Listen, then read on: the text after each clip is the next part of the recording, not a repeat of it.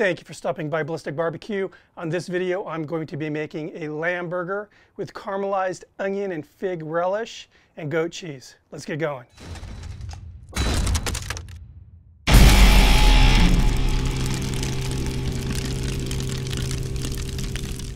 So I've actually had several requests to do a lamb burger, so I thought I better get to it. I'm using the Weber, I've got the Craycort down, the ballistic griddle, in this little quadrant right here, I have no charcoal, and then I have charcoal underneath this cast iron skillet. Reason I'm doing that is I'm going to be caramelizing the onions in here, and if it starts getting a little too hot, I can just move it over. We don't have little knobs or anything, so you have to kind of get creative with the temperature control.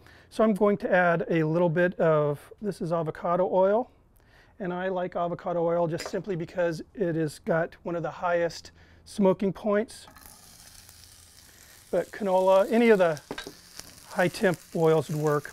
So what I'm to do now is just start sweating these onions out. All right, as you can see, the onions have become translucent and they're actually starting to develop that caramelized color now. We're going to get some figs into the party. These are some preserved figs and they actually were whole in a jar with some like a syrup and I diced them up to smaller pieces.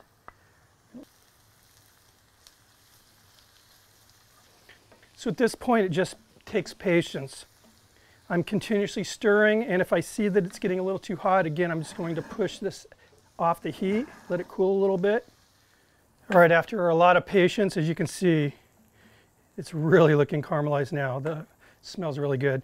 But we've got a lot of sweet on sweet here, so I want to get this balanced out a little bit. I'm going to take a little bit of apple cider vinegar, just, just to pump in a little bit of acid little bit of kosher salt, and a pinch of cayenne pepper. All right, this is looking good. I'm going to get it off to the side here now.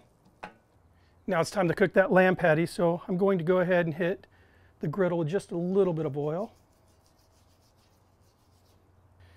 Here's that lamb patty. I'm going to season with a little bit of kosher salt.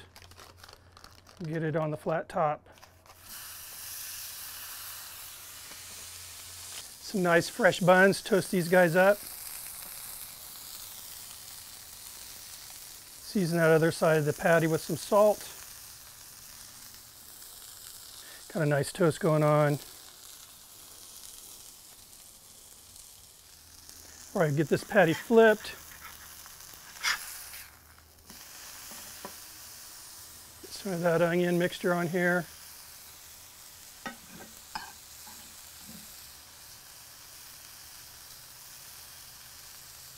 A dollop of goat cheese. While the burger's finishing up, I'm just going to spread some mayo. I wanted something kind of kind of light, not too strong on the flavor on the bottom bun here, and also to help seal it in. And I'm going with arugula. I wanted, again, it's got that nice peppery flavor, but I just felt there needed to be something green on here.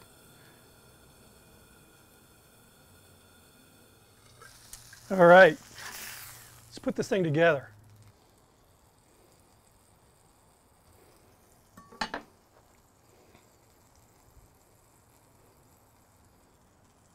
That is a pretty sexy looking lamb burger.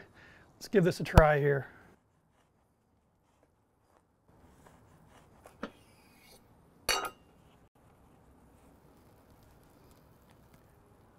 There you go, kind of a medium rare, how I like my lamb. Mm. You know, there's a lot going on here, a lot of flavors, but there's not too many if that makes any sense. This onion and fig concoction I came up with really accentuates the flavor of the lamb. The lamb is really good. It's not that real gamey lamb. It's just a nice fresh flavor. Buns, I just went with a classic hamburger bun. And the pepperiness of that arugula with the kind of saltiness, the savoriness of that goat cheese, it's really good. I love this. Anyway, guys, as usual, thanks for stopping by. Appreciate it. Appreciate the requests. See you on the next video. Cheers.